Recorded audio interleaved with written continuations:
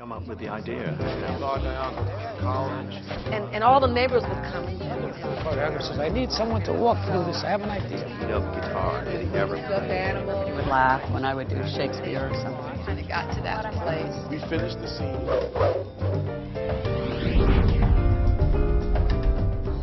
Well, I was born in uh, in Jersey City, New Jersey, uh, a lot of years ago. um, I, I've always been uh, I, I've always been around creative people. So uh, at an early age, um, you know, I, I, I pretty much knew that I wanted to be a creative person. I pretty much knew I wanted to be famous. Uh, I guess every kid wants to be famous.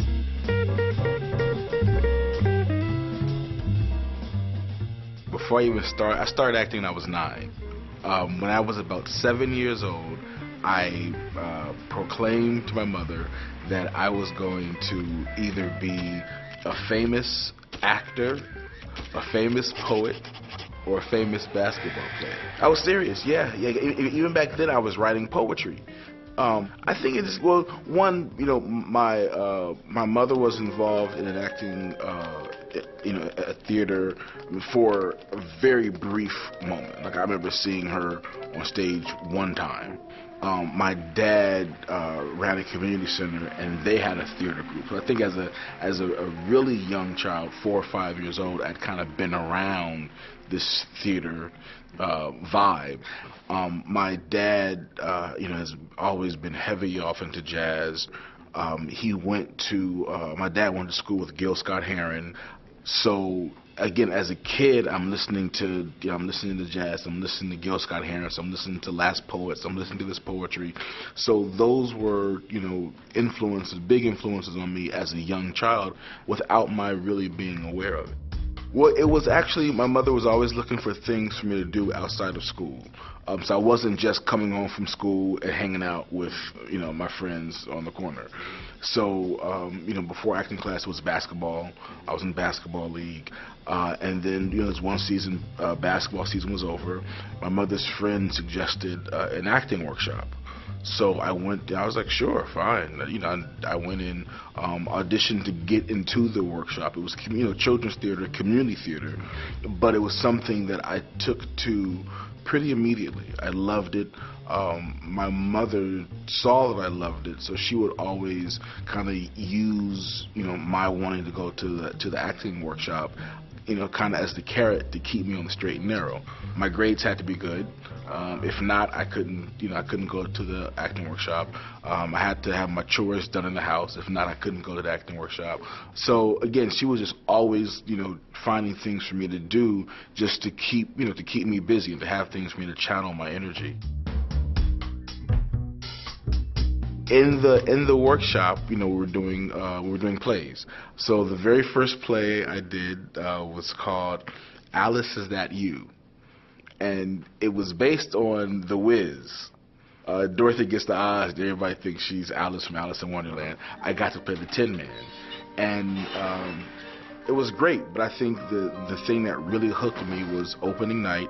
Um, after the show, we all come off for curtain call and a nine a nine year old Leo comes out and all these people were clapping and screaming for me and I get to take my bow. That's what got that's what did it for me. Well the acting um still at, at that point had, you know, been um it had been a hobby. Um, so I've been doing theater for a couple of years. I've been doing some television stuff, some episodic stuff. Um, and then when the when the audition for Cosby came about, initially, you know, my agent submitted me, um, but they were looking for a 6'2", 15 year old, and I was 5'5", and 13.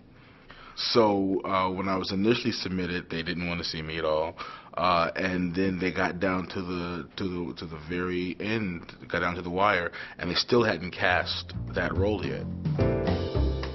All we knew was, you know, six weeks, but she felt like one, she could always get a job, and she felt that it would be important. Uh, it, was, it was an important enough gig to at least be able to have on my resume that I worked with Bill Cosby for six episodes. yeah, yeah, Yeah, and I think by the time the show aired, um, I think by the time we got to our third or fourth episode, they picked us up for, for, for nine episodes, then 13, and finally a full season. But it was really, um, I think it was really a case of you know taking it day by day. No one had any idea that the show would become the the phenomenon that it did.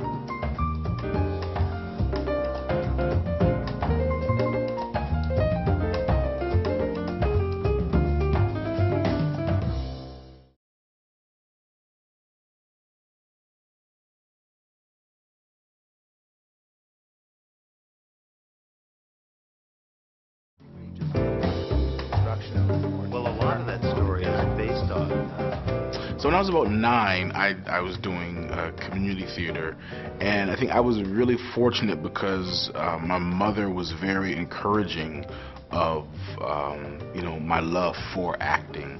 Um, and she also, you know, always put kind of responsibilities uh, that I had to finish to make sure I could actually go to my acting class. And I think uh, that it's really important uh, that young people have uh, have support and have encouragement uh, for the things that they like to do uh, and for the things that you know they're good at. Because even at this day, um, you know, I can you know, I, I can definitely point to my mother and definitely thank my mother for her uh, encouragement and support for, uh, you know, for this thing called acting that I dug as a kid.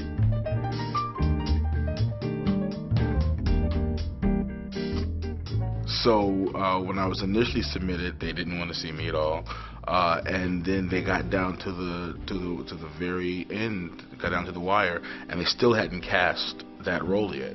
My agent resubmitted me, um, and I basically went in on uh, I went in on on the regular audition. I'll never forget. It was Good Friday, 1984. I went in. I auditioned like 6:30 on on a Friday. So I was literally the last person they saw. Um, and I came back on that Monday for the you know the final callback, and you're you know you see the other other people who are auditioning for the roles, uh, and there was literally uh, there were three guys. It was down to three guys. It was a guy from New York, a guy from Chicago, and me from L.A. So I was literally the last person they saw, and. Um, you know, I went into the to the audition, and there's you know people from the network, the producers, the director, Mr. Cosby is there, and uh, in that audition, you know, we did uh, it was you know Cliff and Theo scene with the monopoly. Theo wanted to be regular people, and we're auditioning that scene, and I do the whole scene. I'm meeting with the casting person, and it's really funny. People in the room are laughing, so you know, obviously I'm doing a good job.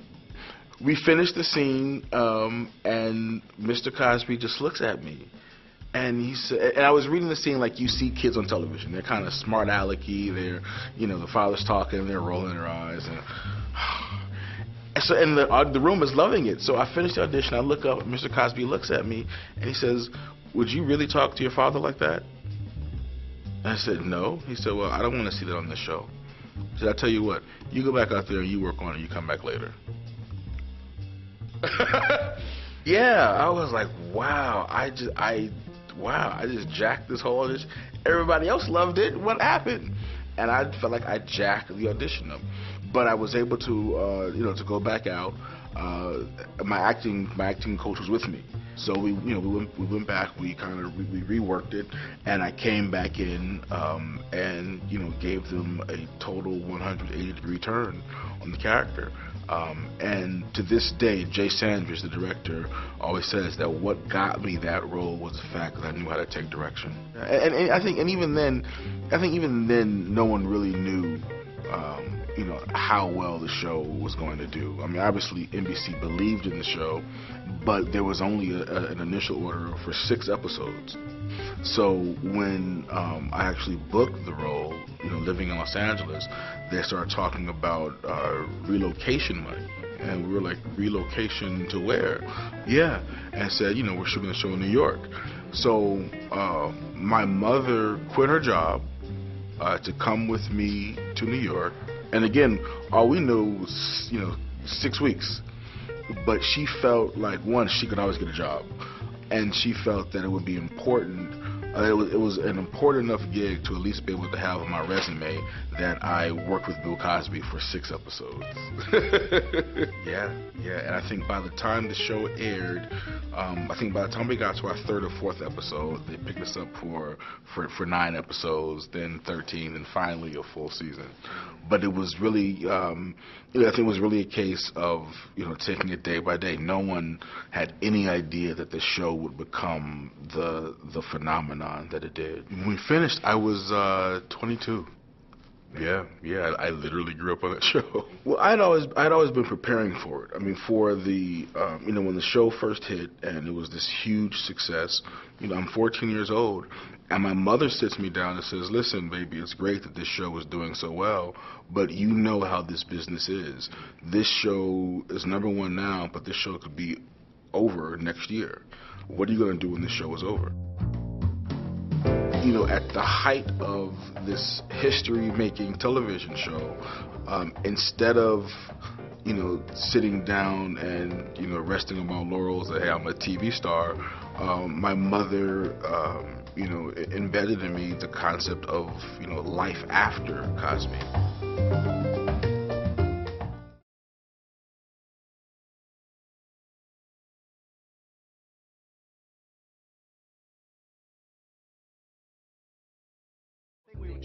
Working in construction mom and dad.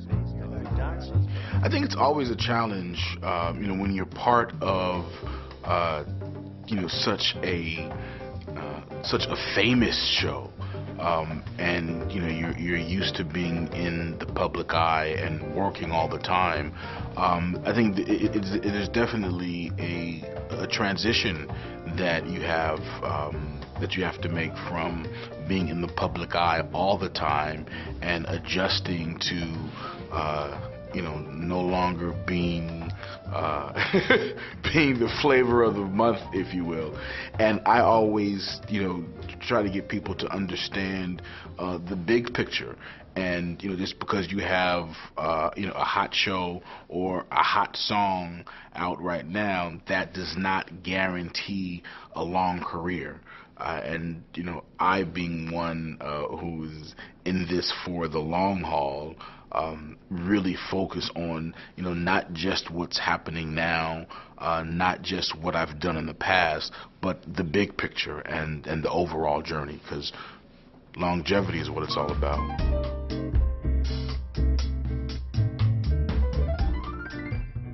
So we literally lived all eight years, each eight year of the, each year of those eight years as if it were the last year. So I was always, you know, so my money was always right, um, and I had always been thinking about, you know, life after Cosby. So I started directing early on. Um, I was doing a lot of my own individual, you know, projects. Um, I started directing music videos. By the time I left Cosby, I had about a half a dozen episodes under my belt. I'd been directing Fresh Prince of Bel Air, doing a lot of work for Nickelodeon. So I had really been preparing for life after Cosby because I also knew that uh, you know it's not necessarily a, a smooth transition from being uh, you know child actor to being taken seriously as an adult actor. So I really spent, uh, you know, all of my time on the show focused on life after the show. Almost maniacally obsessed with, uh, because I didn't, I never wanted to be one of those, well, where are they now? Guys, and I remember seeing the show, and you know, the show was about where are they now, and all these child, you know, stars that you don't know where they are now. That horrified me.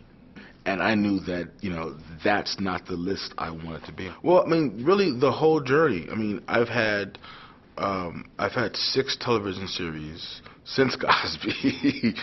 um, you know, so I've always worked. I've always been working. Um, you know, I think the you know, I think you know the the the the dark moments, which I really can't really even consider dark moments, Mm. but you know there you know there'll be a there could be a couple of years in between a TV series. I mean, you, you come out the box with a number one TV show for eight years. Mm-hmm. I mean, where do you go from there? You know.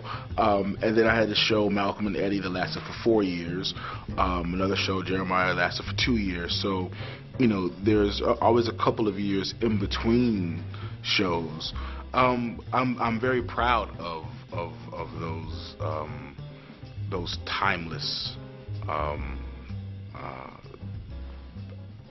projects I've been a part of. Um, Magic School Bus is definitely another um, another show I'm proud of because it's like there's just a whole nother generation of kids, um, you know, who are you know whose lives I am a part of, separate from from Cosby. So I'm I'm proud of that.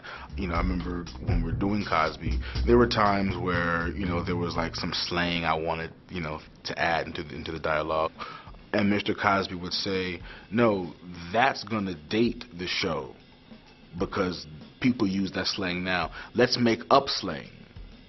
So in 20 years, when people are watching this show, the show is still relevant. And I look at the genius of that because here we are 25 years later, and it's one of the most relevant shows on television still. Um, so there's always been uh, a concept of timelessness for me. I think for me right now, the most interesting time of my life because at 38, I'm in the, in a process of and I guess I've reinvented myself, so to speak, a couple of times because of the music, you know, from the directing to the poetry to the music and the music and poetry now to um, now just as you know, as I'm looking at 40, you know, I'm in the process of. Um, you know, just just really finding, you know, finding my place as I guess a full adult.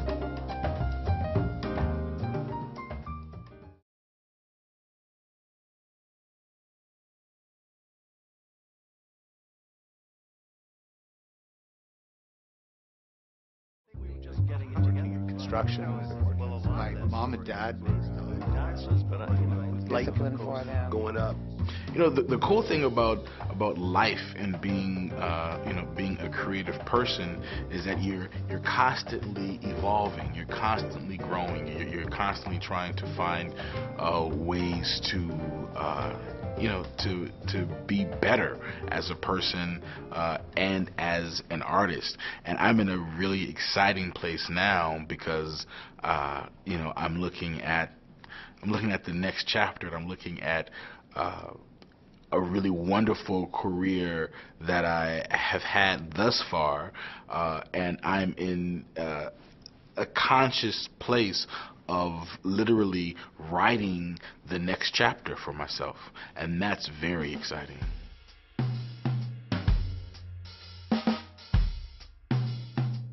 You know, of course, the Cosby Show will, know, will go on forever and will continue to affect people's lives. So I'm I'm proud of that. I'm really proud of uh, of my music because with my music, my goal is to create that same uh, kind of timelessness. Uh, so I think it's one of the reasons why it kind of takes me some time in between CDs because I'm I'm not chasing the sound of today. I'm chasing, uh, you know, I I'm creating the kind of music that when you go back and listen to it five years from now or ten years from now, it's still relevant. So I kind of you know kind of base you know I think everything I do with trying to uh, to maintain that type of, of, of timelessness. Yeah, well, I think I think part of it is, um, you know, oftentimes as creative people, we, you know, we tap into this creative well, and we're, you know, we're extracting, you know, creativity from it, but we forget to replenish it.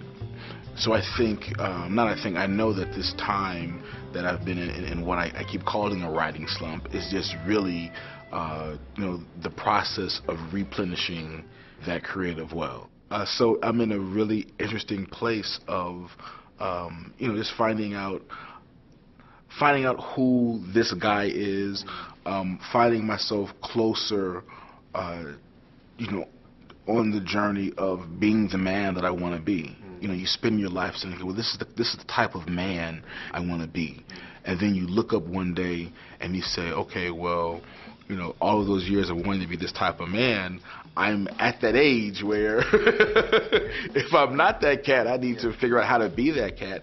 So it's just kind of nice, you know, uh, being comfortable in my skin, um, realizing that I am pretty close to the cat I've been trying to be. Um, and uh, and finding a comfort in that, and seeing how that influences uh, the work all over again. Uh, not just the poetry, not just the music, not just the writing, but even you know me as an actor and my choices mm. as an actor and, and, and my instrument as an actor. I'm in the process of I'm, I'm seeing how that's uh, uh developing yet again. Yeah, I'm I'm on my uh, working on the third CD and um, you know, the, like the first the first CD was an EP, so it was about seven songs. The second CD was that's the, the one I have here. That's the second one. That's the full blown. Love and, love and other social issues. Yeah. So I, and, and that it took. I spent so much of my life mm. writing this, um, writing the second CD, and it's it's a piece I'm still proud of. But going on to the third CD has been interesting because I feel like I've given so much to the second CD, and uh, you know, just the process in creating, um, you know, where I am now as an artist versus, you know, years back when I was this guy. So it's been a really interesting. Uh, it's been an interesting time in terms of uh, the writing process and just trying to. Um, you know, keep the channel open and be in tune to, uh, you know, to where I am and what wants to come out. Man, I wish I was doing a show so we could come and shoot the show. It's uh, it's it's amazing, um, and I say that because, um, you know, there's always been a certain level of integrity um, that I've been able to maintain. So when people come to see my show who really may not know about the music, um, you know, most people come, they're figuring, okay, it's going to be, you know, at the very least, it's going to be okay. And when they come to see the show, the biggest uh, joy I get is the shock factor. And people say to me all the time, you know what, this show was, no offense, but this show was much better than what I thought. And I'm like, that's that's great because it, it goes, um, you know, what I do with the music and poetry just goes so far beyond what people are used to seeing me do.